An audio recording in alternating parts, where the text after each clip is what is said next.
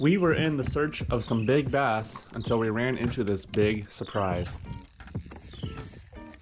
This is gonna take a minute, man. Yes, sir. Pulling hard. Is it a blue or is that a channel?